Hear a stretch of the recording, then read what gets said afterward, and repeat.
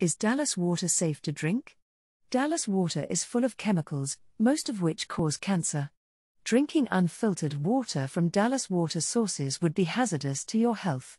Now let's dive deeper into Dallas water quality. Dallas has a total of 37 contaminants analyzed by the Environmental Working Group, a consumer advocacy nonprofit. 13 of these 37 contaminants are rated as exceeding health guidelines. They include things like arsenic, chloroform, and hexavalent chromium. Most of the 37 contaminants pose a risk of cancer if allowed to stay in your drinking water. So, what can you do? Information about water quality can be surprising and unsettling. But there's no reason to lose hope. There are things you can do today in your household to keep you and your family safe and healthy. In your household, use Berkey water filters with activated carbon to filter out 32 of the 37 contaminants, or 86.5%, in your drinking water.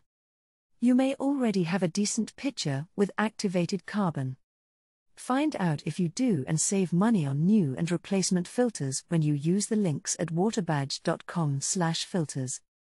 A whole house filtration system will also filter out 32 of the 37 contaminants, or 86.5%, making a Berkey filter the better choice. A few things to note whole house systems are much more effective than water pitchers like Brita and PUR. However, the initial cost is higher and they require installation. To filter out the highest number of contaminants, use our recommendations on the Water Badge Filters page waterbadge.com/filters. For a list of the contaminants that can be filtered out by a whole house system, go to waterbadge.com/dallas. Conclusion: You deserve to feel safe when you turn on your kitchen faucet. At Waterbadge, our goal is to make that a reality. To support this mission, we've partnered with companies that are dedicated to water filtration and safety. When you purchase filters and systems through them, you're also supporting Water Badge's mission of cleaner water for everyone. Thanks for doing your part and thank you for watching. Want to learn more about water quality around the US?